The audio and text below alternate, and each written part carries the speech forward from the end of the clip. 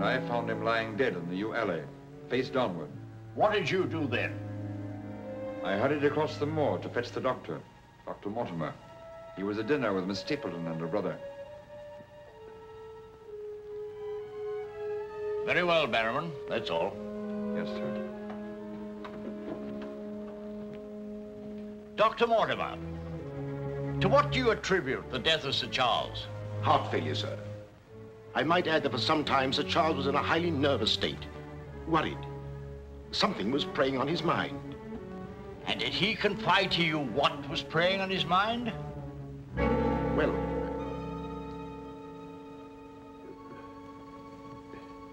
no. Well, then what about those footprints, Mortimer? As though Sir Charles had been tiptoeing back towards the house. I examined them myself, and as a man of science, So I... did I, Mr. Stapleton. More likely Sir Charles was running. Running? Running from what? If you please, gentlemen, one at a time. Why don't you tell the truth, all of you? Tell all you know. Silence, Mr. Frankland. You've already testified you were not there and know nothing whatever of this matter. Nevertheless, I insist he was murdered. Murdered, I tell you. That will do, sir, that will do. There were no marks on the body of any kind, Dr. Mortimer? None. Then, as his physician, what would you say was the cause of Sir Charles's death? Most emphatically a heart failure, sir.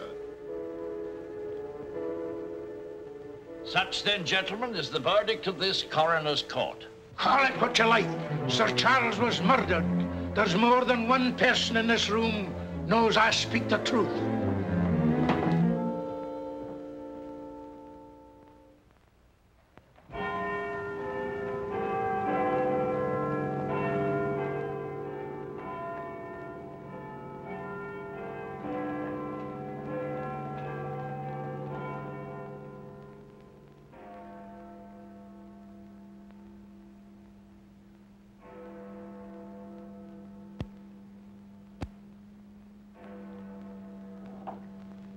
I'm blessed I know why on earth you want all these clippings about this Baskerville fellow. I've an idea, Watson, that young Sir Henry isn't destined for a very long existence in this world. What? My conjecture is that he'll be murdered. Murdered? It'll be very interesting to see if my deductions are accurate. Oh, Mr. Holmes, while you were out, a gentleman called to see you and left this. He asked you to give it to me? Oh, no, sir. He just left it by mistake, I imagine. Uh-huh. Uh, Dr. Mortimer? He didn't leave his name, sir. No, it's here on the stick, Mrs. Hudson. Oh, is it? I didn't notice. Do you know any Dr. Mortimer, Watson? Huh? What did he want? He didn't say, sir. What do you make of it, Watson? Why should I make anything of it? The fellow came to see you. Ah, but what kind of a fellow? Let me hear you reconstruct him from his walking stick by our usual method of elementary observation. Well, I should say that Dr. Mortimer is a successful man, well esteemed. Good. Excellent. I should say that he does a great deal of his visiting on foot, because the iron ferrule is, is worn down. Perfectly sound. Let's have a look at this inscription. From his friends of the CCH. CCH. I should say that's the something or other hunt. Really, Watson, you've excelled yourself. Has anything escaped me? Almost everything, my dear fellow. Huh? A present to a doctor, I'd say, is more likely to come from a hospital than a hunt. And when the letters CC are placed before the hospital, the name Charing Cross Hospital rather obviously presents itself. Oh, you, you may be right. Furthermore, I'd say the Dr. Mortimer had a small practice in the country and was the owner of a dog. How can you tell that? Quite simple. From the teeth marks. Look, you can see for yourself. A rather large dog, I'd say. And unless I'm mistaken, Dr. Mortimer will call on us again in a few moments. Rubbish, Holmes. Rubbish. How the devil can you deduce that? Well, as he left his stick, isn't it reasonable to presume that he'll come back and get it? Dr. Mortimer, sir. Mr. Holmes, Uh, yes. Come in, Dr. Mortimer. I took the liberty of calling upon And you. And left your stick. Oh, so I did. Thank you so much. A presentation, I see. Yes, sir, from Charing Cross Hospital. Uh, this is my friend, Dr. Watson. Of course. How do you do, sir? Mr. Holmes, you're the one man in all England who can help me. Well, won't you sit down? Thank you. A friend of mine is in grave danger. May I inquire his name? Sir Henry Baskerville, heir to the estate of Baskerville Hall. I'm in mortal fear Sir Henry's life will be snuffed out. Why, what makes you think that? I have information which leads me to believe that for centuries past, every Baskerville who's inherited the estates has met with a violent and sudden death. But as I recall it, Sir Charles died from natural causes, heart failure. Apparently. And that was the verdict of the coroner, in which I, as Sir Charles' physician, concurred. But there was one point which I kept back from the police, from everybody. Yes? About 50 yards from where Sir Charles fell dead were footprints. A man's or a woman's? Mr. Holmes, they were the footprints of a gigantic hound. A hound? Well, why didn't you report it? Not a soul would have believed it. During the night it rained, and in the morning the marks were completely obliterated, but I saw them as clearly as I see you. And then, a few days ago, as one of the executors of the estate, I found this. This old document. Legend of the Hound of the Baskervilles. Uh, let me read it to you, Mr. Holmes. It's quite short. I won't bore you, I promise. Yes, please, go on. In the time of the Great Rebellion, about uh, 1650, Baskerville Manor was held by Hugo of that name, a profane and godless man. One Michaelmas, this Hugo stole down upon a neighboring farm and carried off the daughter of the house. He locked her in an upper chamber, and while Hugo and his friends were carousing, as was their nightly custom,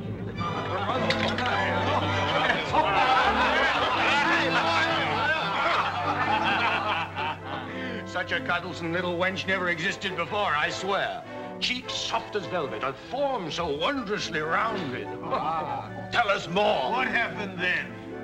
Where was I? A form, you were saying. Oh, yes. yes. No need to cry out, I told her. You go will not hurt you.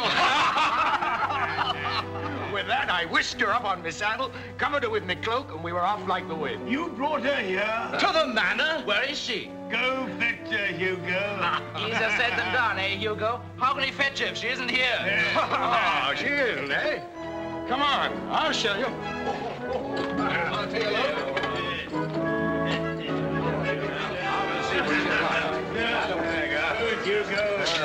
Really in here? May we come in, my sweet? These drunken sots would give Hugo the... There is no good. Gone! Gone! Ah, oh. Out of my way! What ails him? Hugo, devil, what did it, huh? Tim! Get in! Yes, Sir Hugo. What's wrong, sir? She's gone, the wench! Well, don't stand there gaping. Go bring my mare. What's wrong? I've never seen him in such a rage. Where's he gone? Let's follow him. Let's go, Roderick. Farewell. Come on, Matthew. Hold the stirrup, you blockhead. I'll give my soul to the devil for that wench. Did you hear how he pledged his soul to the devil for that wench? Well, may he find her and wed her, then the devil will have his soul.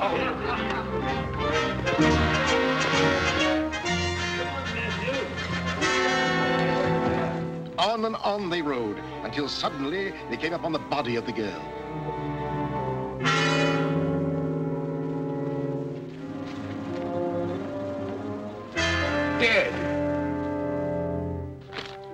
From just over a rise, they heard sounds so hideous that the blood froze in their veins. And looking up, they beheld...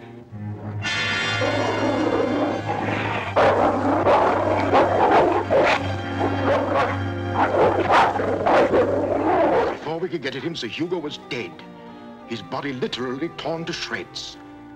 Such is the history of the hound that has cursed the Baskerville family ever since, many having been unhappy in their deaths that have been sudden, violent, and mysterious. Well, Mr. Holmes? Interesting. Very interesting. What do you think? I don't know. But Sir Henry's arriving from Canada tomorrow. Please understand my dilemma, my responsibility. I was Sir Charles' best friend. My duty is to protect that boy. If I should take him down there to Baskerville Hall and anything happened to Uh, him... what I'd suggest, Dr. Mortimer, is that when Sir Henry arrives, you bring him here. Oh, thank you, thank you, Mr. Holmes. You don't know what a load you've taken off my mind. Good night, Dr. Watson. Good night, sir. You've left your stick again. Oh, thank you. By the by, Dr. Mortimer, you have a dog. I have no dog. Then how do you account for these marks? Evidently the teeth marks of a dog. I used to have a dog, a small spaniel. But it died. Good night. Good night.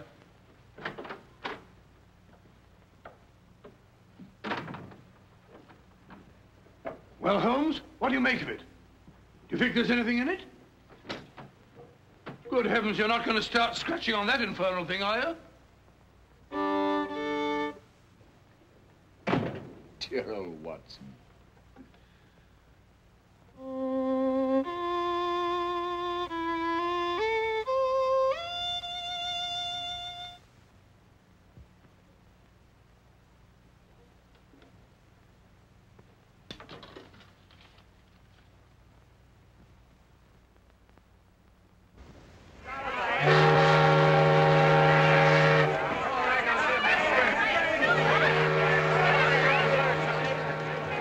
Goodbye, Sir Henry. If you ever go back to Canada, be sure you sail with us. Thanks. You've all been wonderful. The very best of luck, sir. And the same to you. This Goodbye. way, Sir Henry. Ah, here you are, Sonny. Thank you, sir. And you? Thank you, Sir Henry. And Henry. you? Thank you, sir. Thank you. sir. Oh, Sir Henry. Oh, it's too bad it's all over. Just when you and Betsy Ann were really getting to know each other. Oh, but we are going to see one another in London, aren't we, Sir Henry? Oh, I should love to. But uh, I, I have to go down to the country, unfortunately. To your ancestral estate. How exciting. Perhaps, Betsy Ann, if you're very good, Sir Henry will ask us to visit him. Of course, yes. We're staying at the Savoy. Don't forget. I will. Bye. Goodbye. Sir Henry? Yes. I'm Dr. Mortimer. Your uncle was my best friend. How do you do? Thank you for coming to meet me. Not at all, my dear boy. Did you have a pleasant trip? Splendid, thank you. I've taken rooms for you at the Northumberland Hotel, where I'm stopping. Fine. I assume you'll be staying in London for a few days. Yes, I haven't seen it since I was a boy. Thank you, sir. Northumberland Hotel.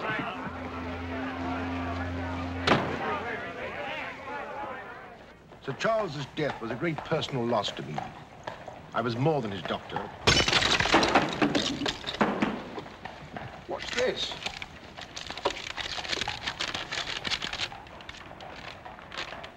What are those words?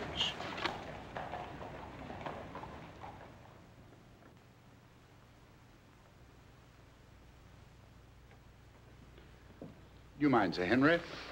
No, not at all. What do you make of it, Mr. Holmes? Why do you think that last word is printed in ink? Oh, that's simple enough. The words have been snipped from the London Times. That's evident from the typography.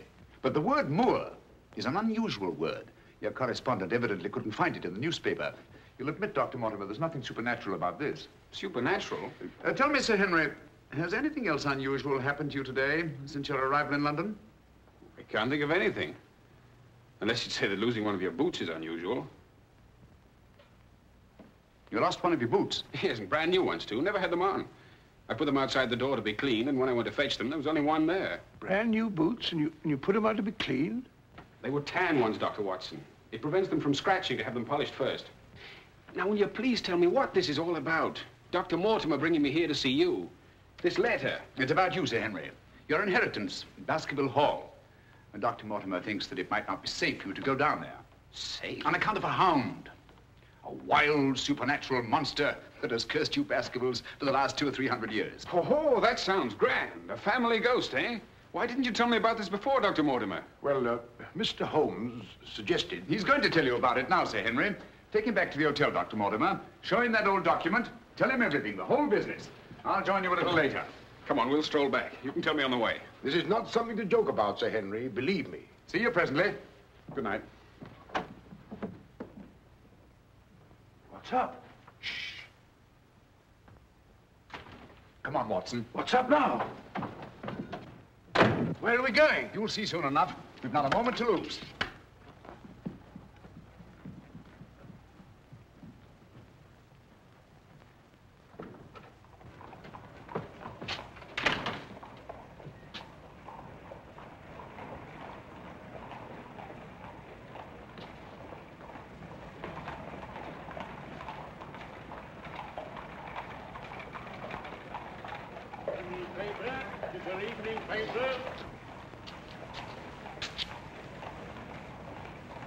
Eye on that hansom.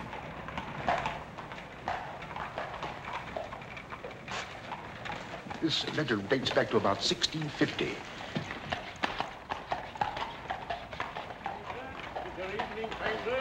Get your paper, evening paper. Evening paper, sir. Get your evening paper. Get your paper, evening paper. Evening paper, sir. Tells all the latest news that's going on, sir. Tells you all about it. Thank you, sir. Evening paper. A dissident, drunken fellow. And he was a dissident. Look out! Stop! Whip up, cabby. Whip up, I say. Very good, sir.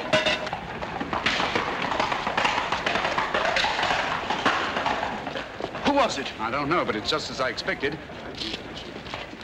Hadn't we better hurry on and, and warn them? No, no, no, no. They're not in any danger now. Here's the number of that hansom. Find out from Scotland Yard who the cabby is, and if you can, fetch him along to the hotel. I'll do my best.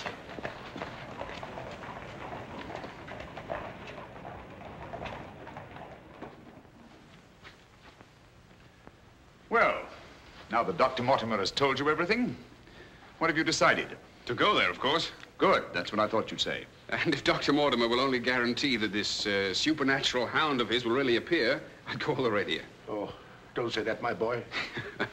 Sounds like a bogey story they tell kids to frighten them at night, doesn't it, Mr. Holmes? Yes, rather.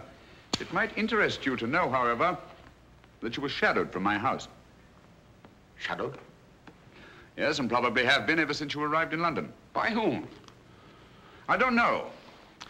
A man in a hansom. He must have seen me run after him and had the cabby dash off. Oh, by the by, did you ever discover your mislaid boot? No. Uh, hello. Well, the brown one's here, but one of the black ones is gone. I'll ring for the chambermaid. Perhaps she can explain. Yes, do. Now, why should anyone want to take an odd boot and then exchange a brand new one for an old one? Can you explain it, Mr. Holmes? Um, no, no, I can't.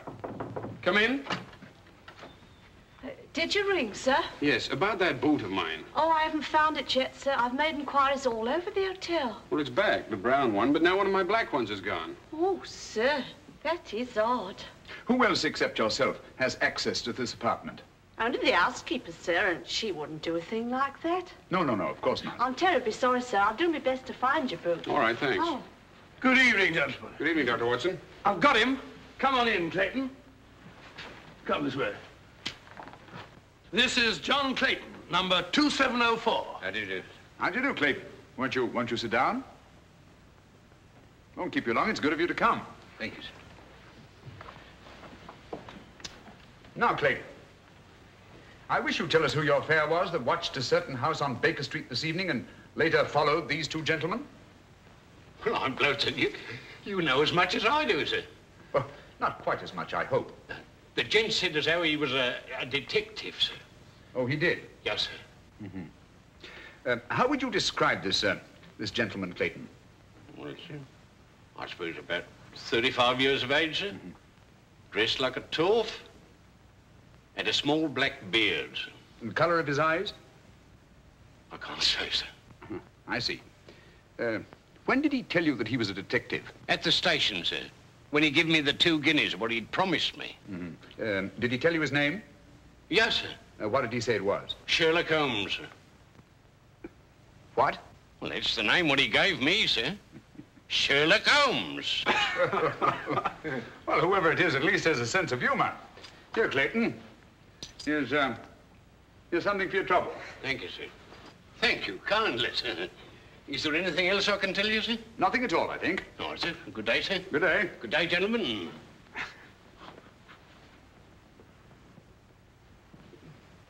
Well, Mr. Holmes, have we progressed, uh, do you think? Perhaps. Uh, tell me, Sir Henry, when were you planning to go down to Dartmoor? Immediately, tomorrow. I'm really awfully keen to see the old place. Uh, you'll accompany us, Mr. Holmes. Um, I'd like to very much, Dr. Mortimer, but unfortunately I have some rather pressing business here in London. Of course, and there's no need. Please don't think me ungrateful, Dr. Mortimer. I do appreciate your concern for me. But this story of the hound, it's nonsense. As for that silly letter and all the rest of it, I'm sure it can all quite easily be explained. I quite agree with you, Sir Henry. But all the same, if you don't mind, I'd like to ask uh, Dr. Watson to go down with you. What's that? If you don't mind, Watson. Gladly, if you care to come. Of course. I'll be delighted. Good. Oh, thank you, thank you, Dr. Watson, and thank you, sir. Then we'll stalk the hound together. Now, don't take it too lightly, Sir Henry. Well, I must be going. Uh, Mr. Holmes. Yes, Dr. Mortimer. About that person calling himself Sherlock Holmes. Very interesting, Dr. Mortimer. Uh, you'll uh, keep me posted, Watson. Write me daily reports. To the smallest detail, Holmes. Fine. I give him into your care, Sir Henry. Guard him well. Good night. Guard me well. I, I like that. Oh, God.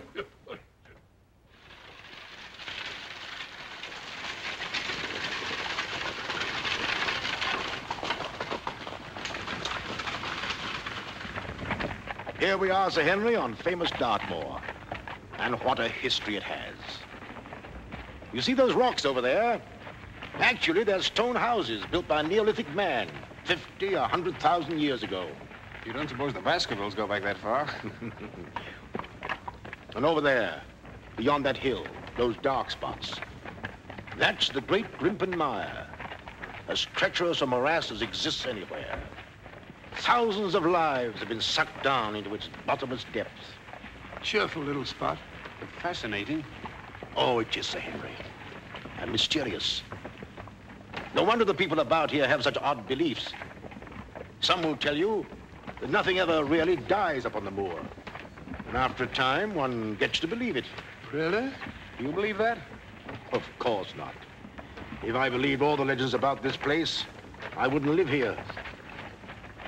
I wouldn't have the courage.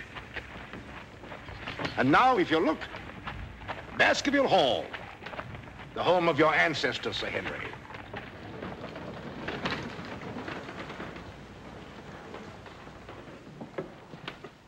How are you, Barryman? Very well, thank you, sir. Oh, thank you.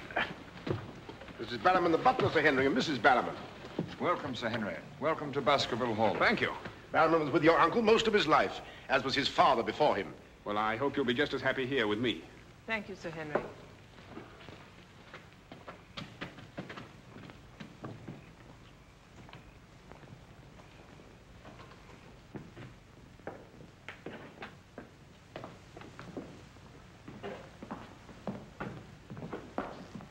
Baskerville Hall. And just as it's always been, Sir Henry, your uncle did some modernizing upstairs, but down here nothing has been added or taken away since Sir Hugo's time. Well, I wouldn't say it's the most cheerful spot I've ever seen. I beg your pardon, sir. What time do you wish dinner served, sir? Early, I think. Dr. Mortimer has to drive home. Tell the coachman to have the carriage ready after dinner. I'll tell him, sir. Now, I suppose you'd like to freshen up. There's hot water in your room, sir. I'll show the way. Thank you.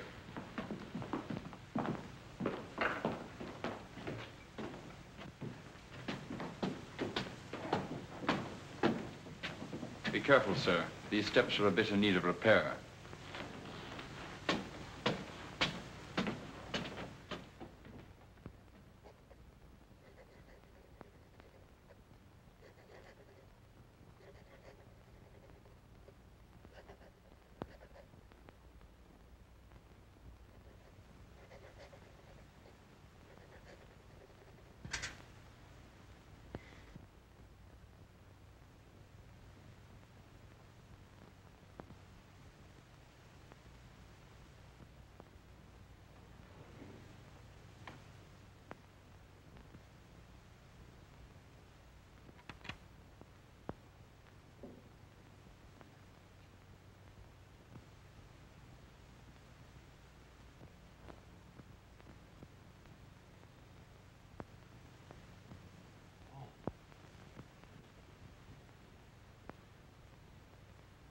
I didn't want to startle you. I thought you might be asleep. What is it? Come quickly. Someone's prowling around.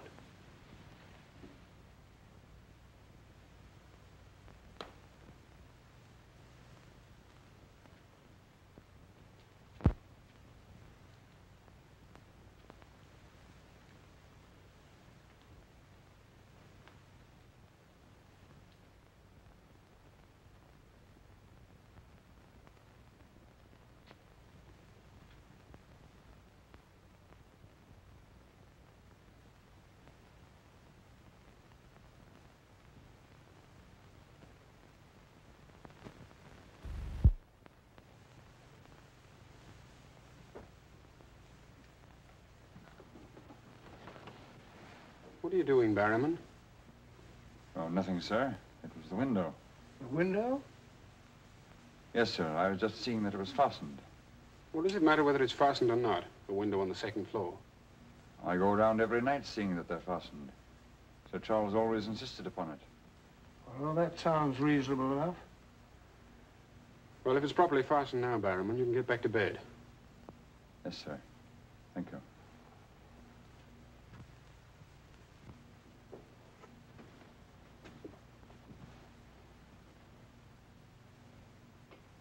Do you see anything? Nothing. Nothing except a pinpoint of light a long way off, over there by the crags. Well, keep your eye on that point of light. And tell me what happens.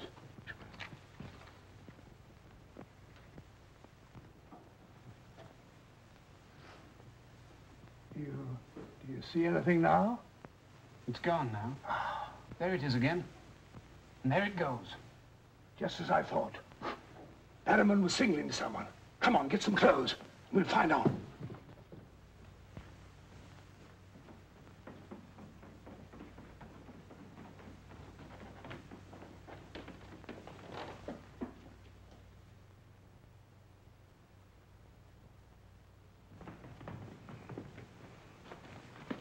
It's still there. Yes. Try not to lose sight of it.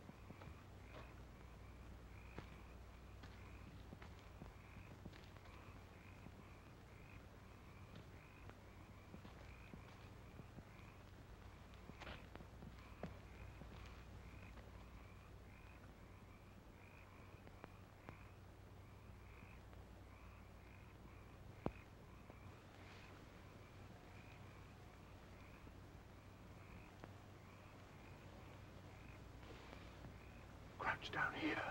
Whoever it is may come back.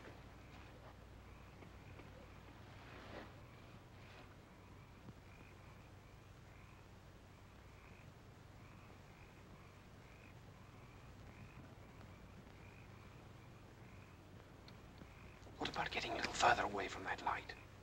Up there. Good idea.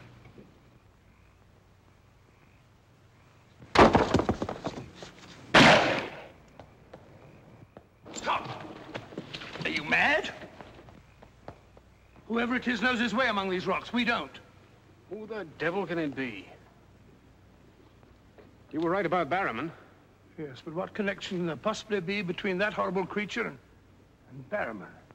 You know, I've half a mind to fire the fellow in the morning, then notify the police and let them shadow him. No, it's the last thing that Holmes would want us to do. Our job is to watch Barryman. Watch him like a hawk. Come on, let's get back.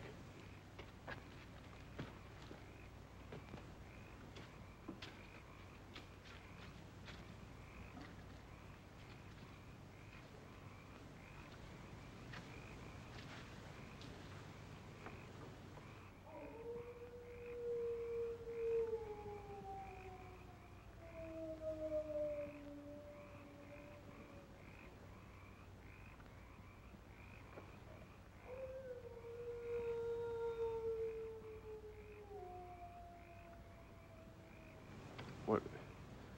What do you think it is? What did it sound like to, to you? Well, if we were back in London, uh, this would seem ridiculous. Let's get on.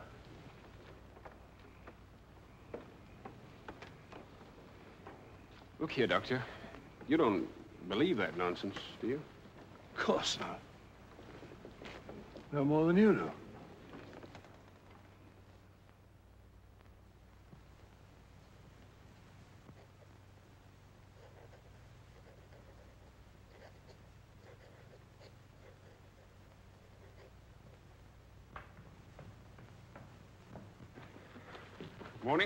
Morning. Morning, Sir Henry. So that's our famous Moor, eh? Yes, sir.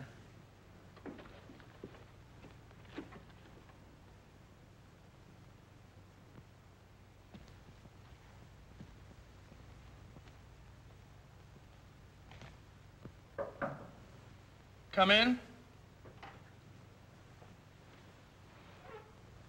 Oh, where's Sir Henry? He went out, sir. Where? Across the moor. Didn't I tell you to let me know immediately?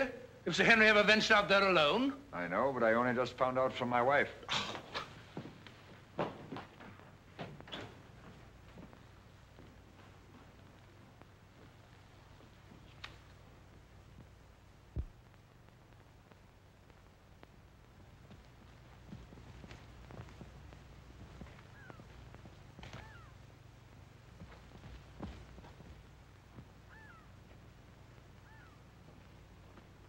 Hello there. Forgive my shouting at you, Dr. Watson. My name's Stapleton. Live just across the moor. But how did you know my name, sir? Oh, from Dr. Mortimer, one of our neighbors. Oh, yes, sir. Hi, Sir Henry. He's very well, thank you. We were a bit worried he might decide not to come here. After the rumors that followed the sad death of Sir Charles, has Mr. Sherlock Holmes come to any conclusion yet? I really can't say. Oh, is he going to honor us with a visit? I haven't the slightest idea. Well, if I can be of any help, I do hope you'll call upon me. I know this place pretty well. Thank you, but I, I don't think I shall be needing any help. Wonderful place, this moor. From a scientist's point of view, there's nothing like it. Vast, barren, mysterious. You see those bright green spots over there? Seems a little more fertile than the rest. Fertile? That's the great Grimpen Moor. One false step means death. Only yesterday, one of the moor ponies wandered into it. Turned me sick with horror to see it struggling. And the sound of its screams... What's that? Oh, that. Well, the people round here say it's the hound. Surely you don't believe such rot? Hmm, Bogs make queer noises. Or perhaps it's a bittern booming. A bittern?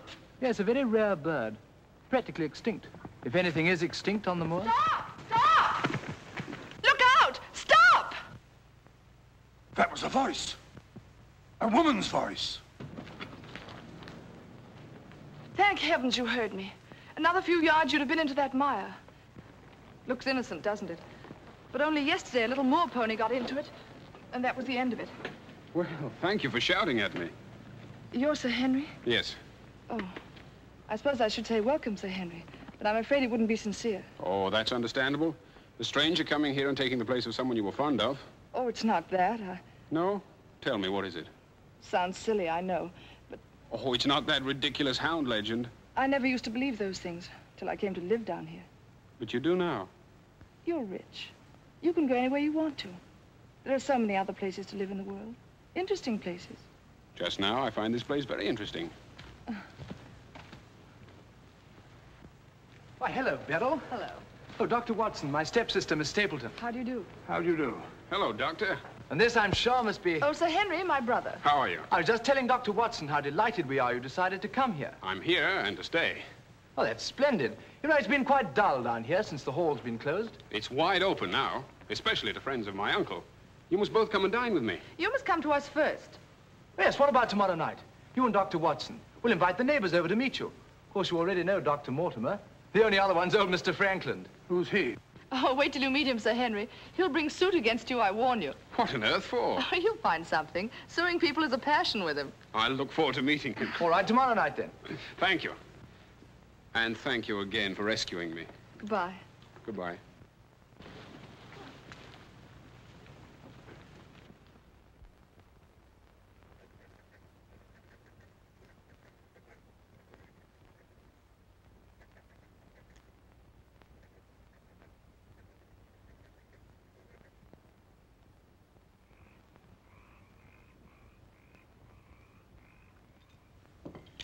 And were it not a personal insult to Sir Henry, I would never have come here this evening. Oh, but why, Mr. Frankland? As a stickler for convention, I'm not in the habit of breaking bread with my host on the eve of prosecuting him. Great heavens, what crime have I committed now? A most gruesome one, Mr. Stapleton. That of body snatching. What? You're a body snatcher, sir. A ghoul, a despoiler of graves. Oh, come, come, Mr. Frankland. That's a very serious charge. Oh, Beryl, refill Mr. Frankland's glass, will you? Thank you, my dear. And an excellent vintage it is, too. But if you're implying that I'm tipsy, sir... Oh, of course he's not. Tell us more, Mr. Frankland. Whose body has Mr. Stapleton been snatching? According to my evidence, sir, Mr. Stapleton was seen digging among the old stone huts on the moor and removed from there a skull. oh, that. a most interesting relic, Sir Henry, of Neolithic man. I'll show it to you after dinner. 50,000 years old if it's a day. Nonetheless, sir, you removed it from the grave without the consent of the next of kin. And according to British law, that constitutes body snatching. Deny that if you can. But what good will it do you to prosecute Mr. Stapleton? None, sir. I have no interest in the matter. I act entirely from a sense of public duty. If you care to drop by my house someday and take a tipple of wine with me, I'll be glad to tell you a thing or two about everybody here. About him prowling the Grimpen Mire at nights and why he takes her with him. Oh, there's no secret about us. As you know, I dabble a bit in the occult. Mrs. Mortimer has very strong mediumistic qualities. She finds the old caves on the moor particularly conducive to psychic phenomena. Very interesting. Have you ever tried to communicate with my uncle since his death? Oh, yes, on several occasions, but with no success. But if my wife would consent to a seance tonight, while you, Sir Henry, are present, we might... No, no, James, not tonight. Please. Perhaps some other time. Shall we have coffee in the drawing room? Why, of course, Mrs. Mortimer. I wish I could persuade my wife. Scotland. Don't you think there's the mist in the rock? If you and Dr. Watson had care to see my little collection. Oh, yes, the skull. Yes, we're in here. Yes, I'd like to very much. Quite a museum. Oh, a very modest little collection. But this one really is quite a treasure. You'll observe its unusual cranial index. Gentlemen, gentlemen, my wife has consented. She's agreed to a seance. Splendid. Oh, fine. Please come at once. Now then, if you'll all get chairs and arrange yourselves naturally, comfortably here by the fire. As Shakespeare says, you can call spirits from the vasty deep, but will they answer? They'll not answer scoffers or skeptics. If that's your attitude, Mr. Frankland, perhaps you wouldn't mind leaving us. Oh, I'm sure Mr. Frankland didn't mean to doubt. Of course I doubt. And I ask you to keep a civil tongue in your head, Dr. Mortimer. Ordering me out from under the roof of my host is grounds for a very nasty little lawsuit. Oh, come now, Mr. Frankland. Sit down by me. Now, tonight we may communicate with Sir Charles. Find out what he feared so greatly. What he was running away from. Now, Jennifer, you sit here, please. Sir Henry, here. Or would you please put out those lights? Certainly. Stapleton, that light, please. Dr. Watson.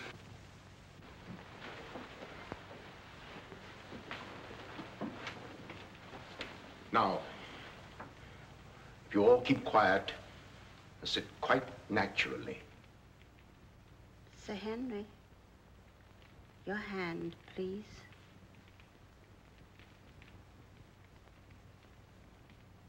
Sir Charles, can you speak to us? Let us know if you're present. There are things that only you can explain. Speak to us, Sir Charles, if you're here. There are things that only you can tell us. Sir Charles, can you speak to us? Let us know if you're present. There are things that only you can tell us. Speak to us, Sir Charles, if you're here. There are things that only you can explain. That sound. I've heard it before. It's nothing. Nothing but the wind. Or a bittern. I was telling Dr. Watson only yesterday about it.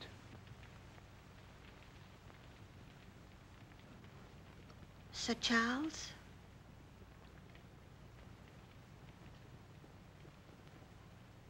What happened that night? What was it you feared? Tell us, Sir Charles, of all the weird, terrible things that have happened on the moor. Listen. There it is again. Oh, I can't stand it. Will somebody put on the lights, please? I tell you, it's nothing. Nothing but the wind.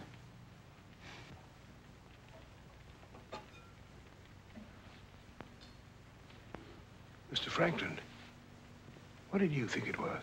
The hound, of course. The hound of the Baskervilles. Any fool would know that. James, get my cape. Take me home. Very well, my dear. Dr. Watson, can I give you and Sir Henry a lift? No, thank you. We have our own carriage. You're trembling. That wasn't the wind we heard. I've heard that sound before, often. That's what I tried to tell you yesterday on the moor. That's why I wish you hadn't come here. But sounds can't hurt you. It doesn't matter what they are or where they come from. You don't know. Oh, you've got to get all that nonsense out of your head, Beryl. I wish I could. You're going to. I'm going to make it my business to see that you do. You've been alone too much. There's nothing to do down here. That's the trouble. I'm going to change all that, if you let me. We'll go fishing together, riding. You like riding? Yes, I do. Good. We'll start tomorrow, shall we? Yes, thanks. Fine. I'll ride over for you in the morning. Are you coming, Sir Henry? Right, Doctor. Good night. Good night.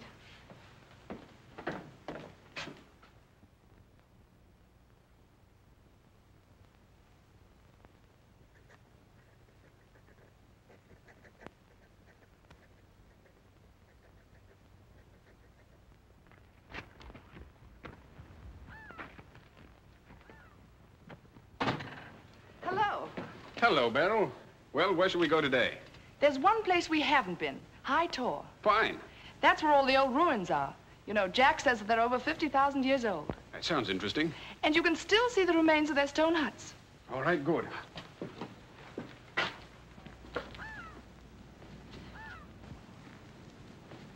Those flattish stones over there, they're graves. Oh, and those huge ones, monoliths, are the remains of their temples. Doesn't anybody know who they were or what they looked like? Jack has some theory about them. But anyway, they must have been very primitive, living on roots and dressing in skins. but still laughing and dreaming, just as we do. I wonder how many times some young savage brought his bride into this very hut. Said, take your hat off, darling. This is home. You know, this is probably where she cooked his first meal for him. what a yell he must have let out when she burnt it up. And now they're quite forgotten. Just as we will be, too, one day. Do you suppose when a man met a girl that he liked, that he had to wait a respectably long time before he dared tell her? Or things like that, sudden, natural? I'd like to think that things were like that. Beryl, that's the way they are with me. Oh. Oh, but we've, we've only known each other such a little while. Here, you see, convention, custom.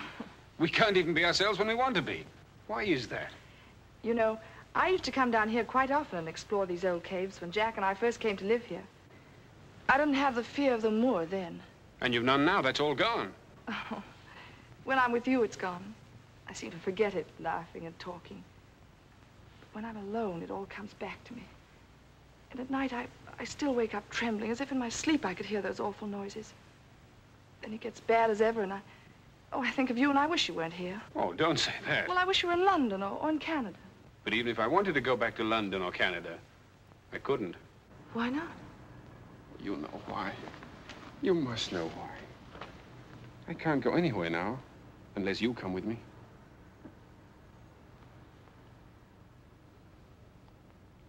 Oh, Henry.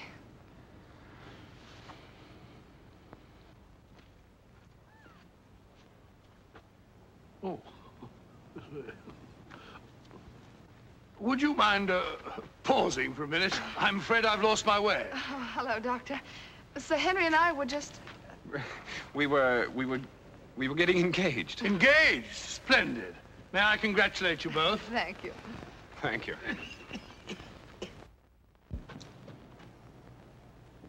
Who is that? It seems that we didn't pick a very secluded spot. What do you want? Just crossing the moor, sir. Just crossing the moor.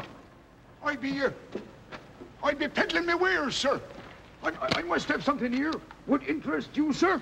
How about it? How about a nice mouth organ, sir? No, thank you.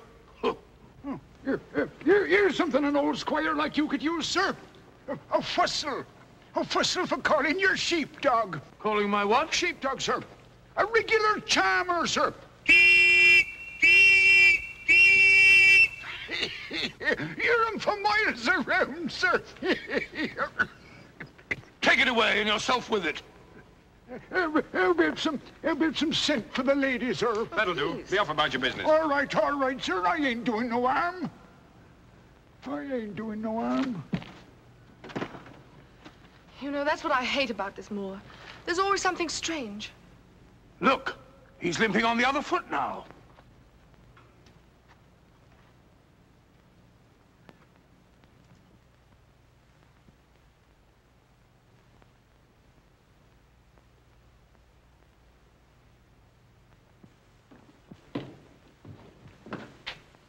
Barryman, Yes, sir. who delivered this note? No one, sir. I found it slipped under the front door. Thank you.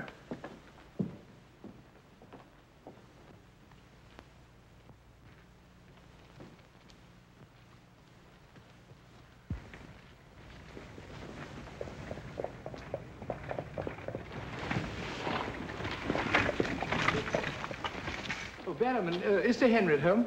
No, sir. He's gone across the moor. Oh, I'm sorry I missed him. Did Dr. Watson go with him? No, sir. Oh, thank you, Barryman. I'll tell Sir Henry you called, sir. Yes, do.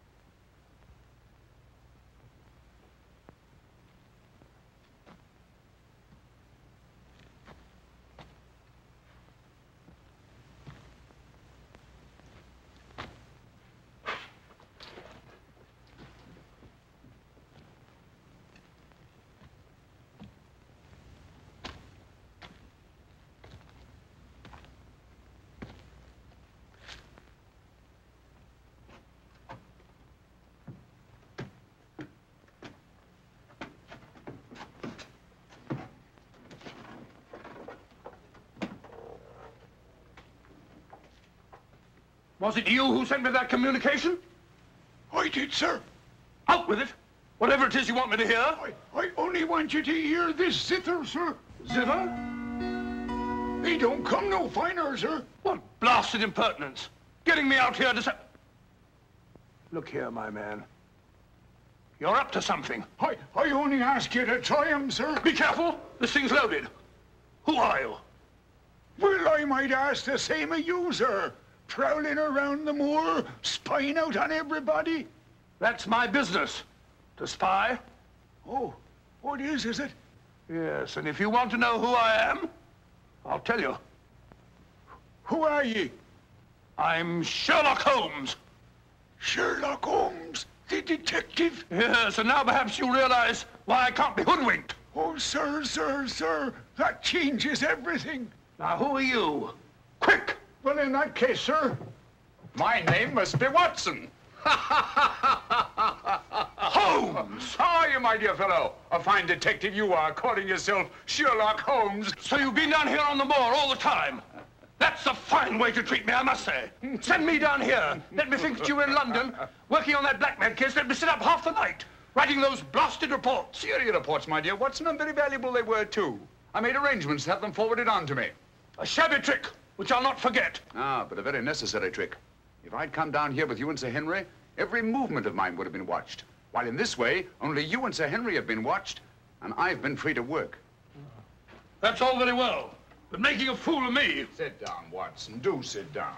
Perhaps a little supper will help you to get over your huff. Huff? I'm in no huff. Here, try some of these sardines. It's a pity I didn't know you were coming.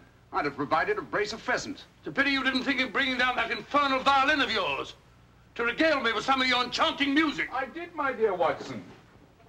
Anything to oblige.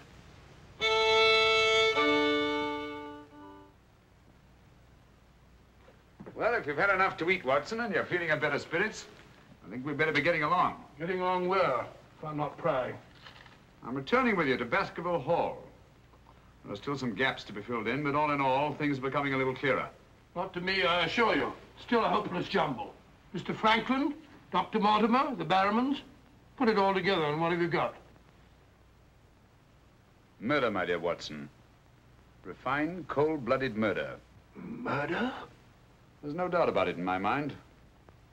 Or perhaps I should say in my imagination. For that's where crimes are conceived and where they're solved. In the imagination. But there's been no murder. Unless you mean Sir Charles. And the facts clearly indicated that he died from heart failure. That's why so many murders remain unsolved, Watson.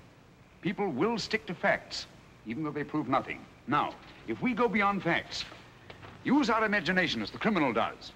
Imagine what might have happened and act upon it, as I've been trying to do in this case. We usually find ourselves justified. Then you know? Another day, two at the most, and I will know.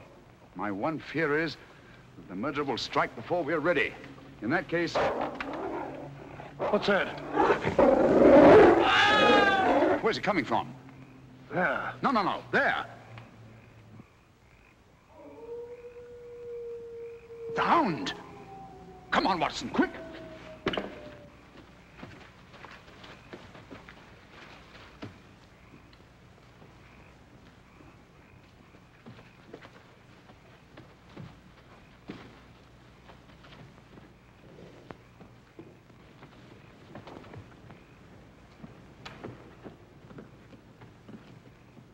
Look! Sir Henry!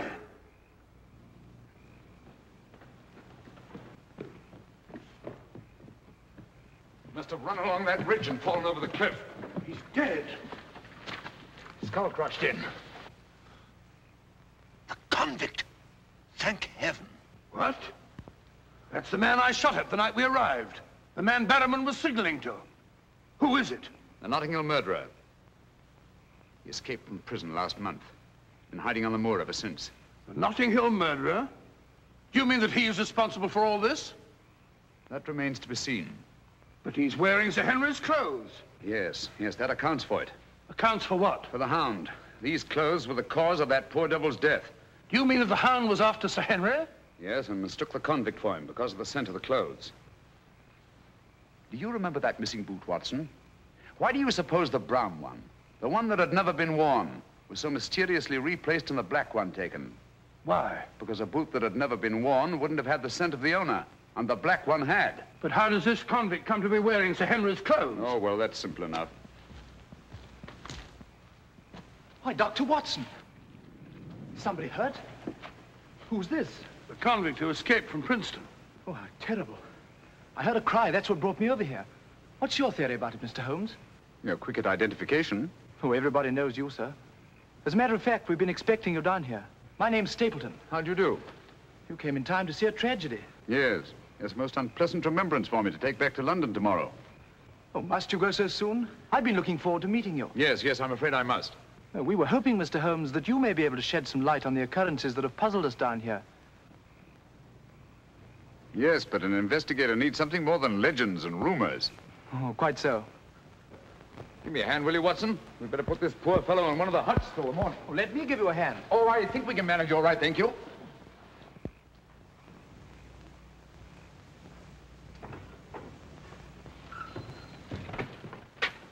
Where's Sir Henry Barryman? In the library, sir. Now, Barryman, if your wife's still up, will you tell her Mr. Sherlock Holmes would like a word with her? Sherlock Holmes? Yes. Yes, sir. Thank you.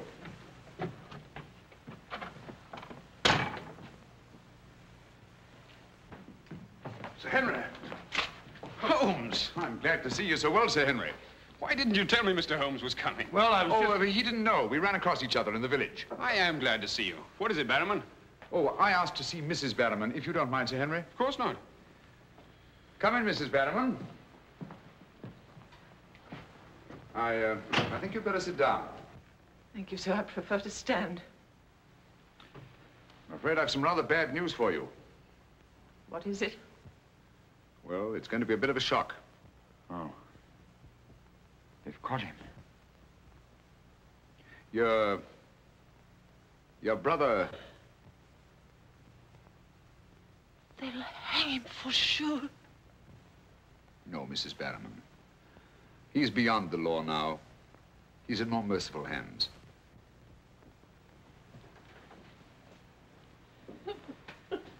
We came upon the poor fellow as we were crossing the moor. He must have missed his footing and fallen over the cliff. No further need, Barryman, to signal to him from the window or take food out to him or give him Sir Henry's discarded clothes. Go, Sir Henry. It was all my doing. Barryman here wanted to tell you all along so as you could notify the police. But he was my kin, my old kin. Even though he wasn't never any good. We understand. He won't hold it against Barryman. Will you, sir? Of course not. Now take her along and see that she's all right. Thank you, sir. Thank you, Sir Henry.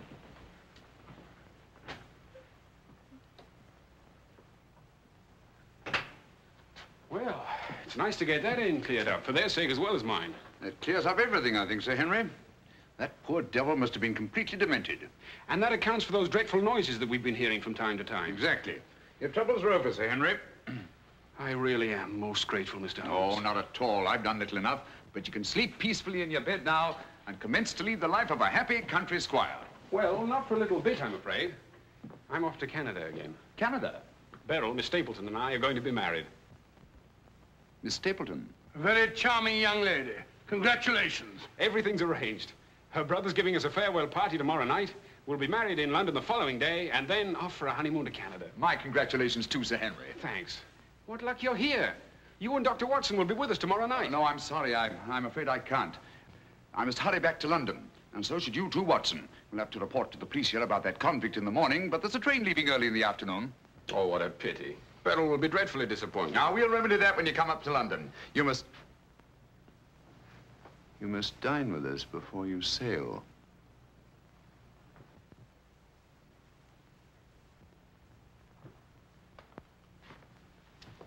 Well, there's the old boy himself, Sir Hugo.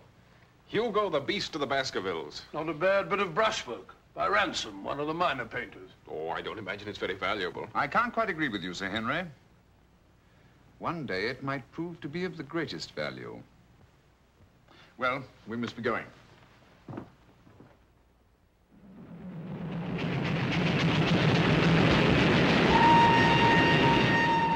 There's still one or two little points, Holmes, that I can't for the life of me reconcile with your theory about that poor demented convict. One or two little points? But surely you can't mean that he was in London three weeks ago? Sent that letter? Stole that boot? Of course not. And who the devil did? The same person who was responsible for the death of that convict last night and will try again to murder Sir Henry tonight. Tonight? Unless my imagination has run away with itself, and I don't think that it has. Then why are we rushing up to London? Leaving Sir Henry entirely unprotected? We're not, my dear Watson. We're just giving the impression of rushing up to London. In a minute and a half, we'll be in Okehampton. There, we'll catch a train back to Dartmoor. If my surmise is correct, we'll nab our man in the act. But if you know who it is, why all this roundabout rigmarole? Why don't you have him arrested? Because I've no case. Not a shred of evidence that would hold in any court. The only way is to catch him red-handed, to catch him in such a way that there's no escape, no alibi. That means gambling with Sir Henry's life. But you can't possibly... Gambling to save his life.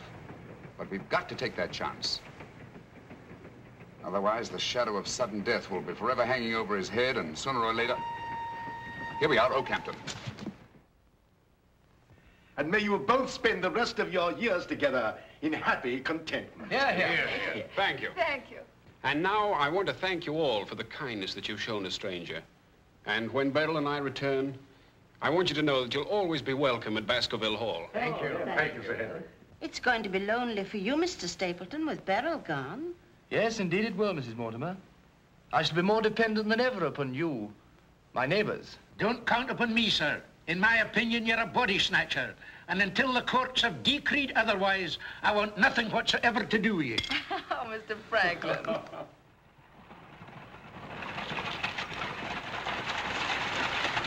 I say, driver, can't we go a little faster? I'm doing the best I can, sir.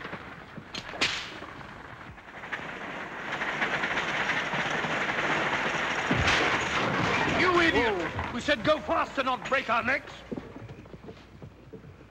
How far is it to Baskerville Hall? It's five miles by road, sir, but if you want to cut over the moor, it's only about three. Here you are. Come on, Watson, quick. Thank you, sir. It's been a wonderful evening, Stapleton. Well, glad you could be with us, Mortimer. Thank you. Take this brooch, my dear, and wear it on your wedding dress. It belonged to my great-grandmother.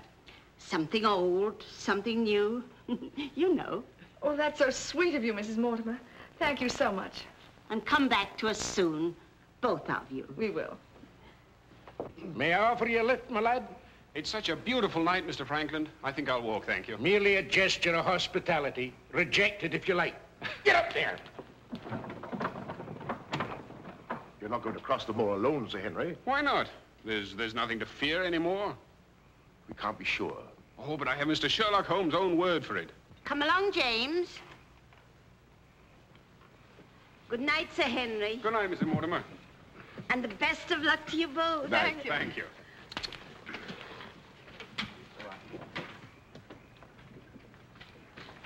Good night. Good night. I wish you'd let Mr. Frankland drive you home. I wanted to stay and say good night to you. This is our last good night. From tomorrow on, there won't be any more, ever. Tomorrow we'll be away from this place. I wish it were now. So do I. Oh, now, don't be silly. Good night, Beryl. Good night, dear.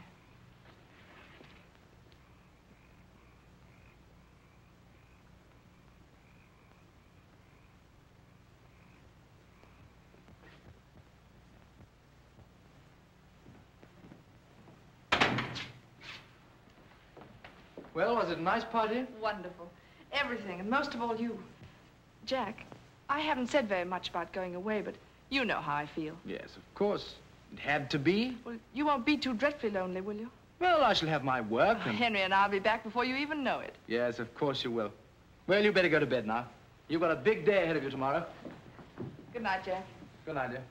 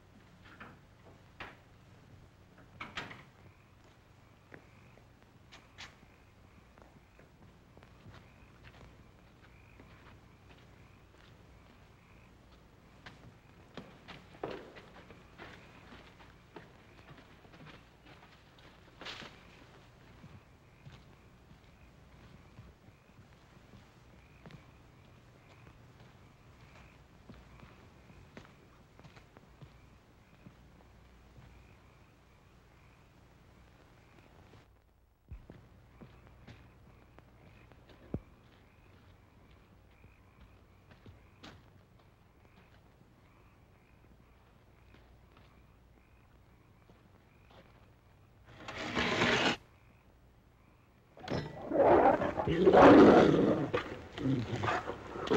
you.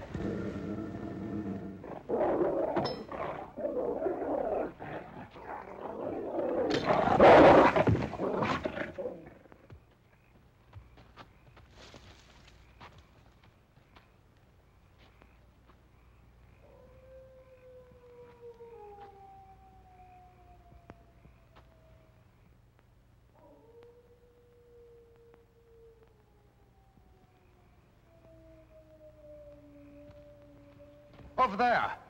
We'll head him off.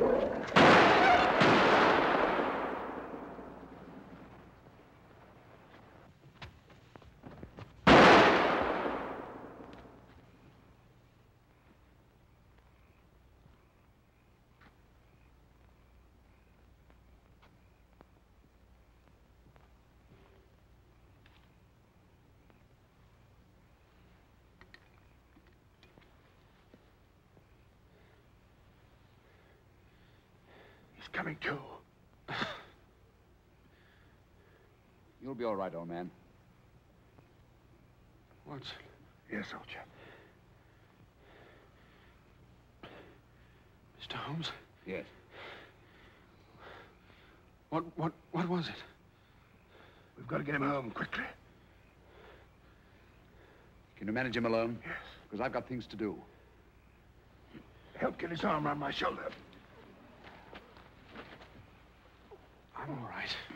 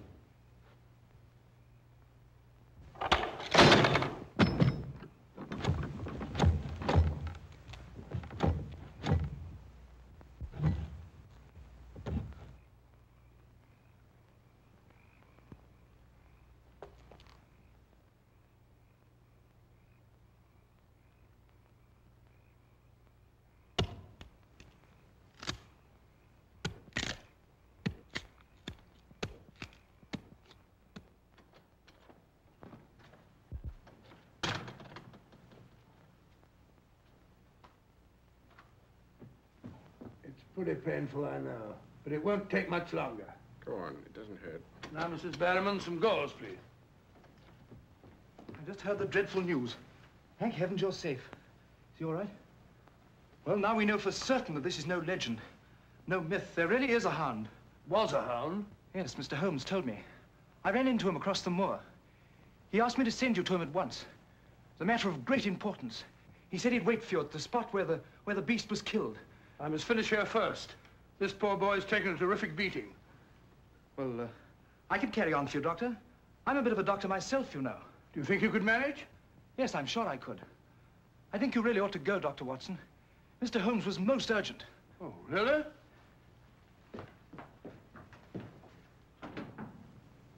I, uh, I shall need some hot water, Mrs. Barryman. Oh, I want it boiling, please. Yes, sir.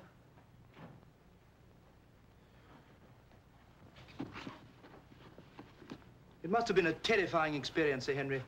Terrifying. It was. It was indeed. Yes, I can see you're still weak from loss of blood. I can't say I feel any too well. Here, drink this, Sir Henry. You'll feel much stronger. I'll see to your other bandages after.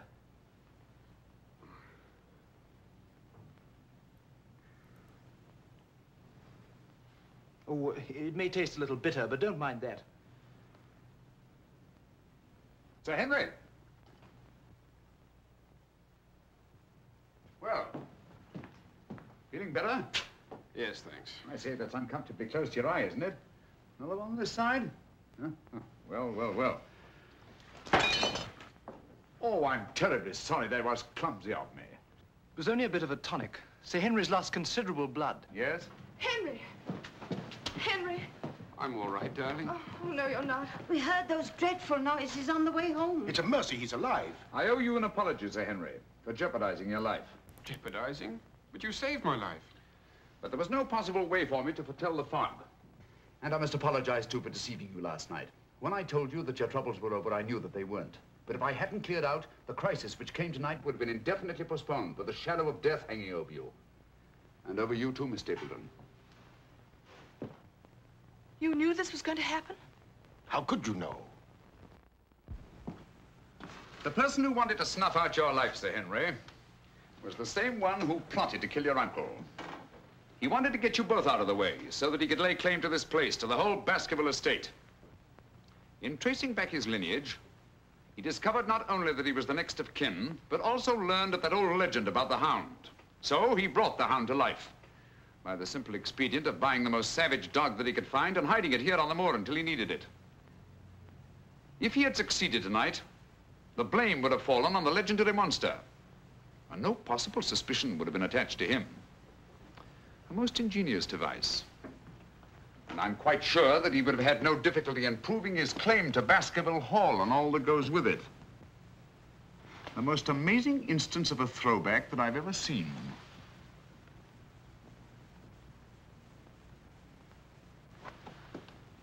And you can see for yourself. Stapleton! One move and I'll shoot. Jack! You two, stay where you are. You're under arrest, Stapleton. For the murder of Sir Charles Baskerville, the murder of a convict, and the attempted murder of Sir Henry. You can't arrest me, Holmes. Now, one move from any of you and I'll blast you all to kingdom come.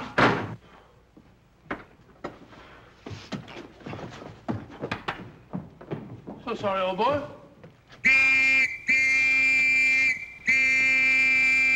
What's the matter, old man? What's the matter? That's our man. Stapleton, the murderer? He won't get very far.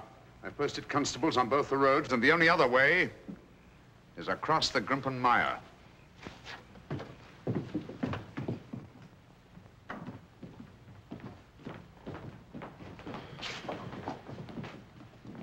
I'm so sorry, Miss Stapleton.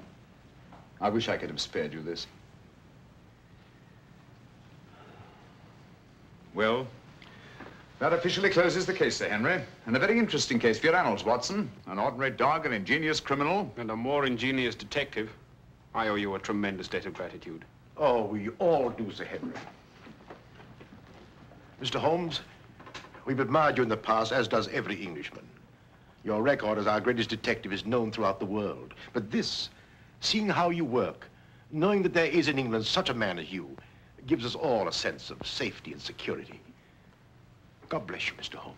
Thank you, Dr. Mortimer. Thank you. And now, if you don't mind, I've had rather a strenuous day. I, I think I'll turn in. Of course. Good night.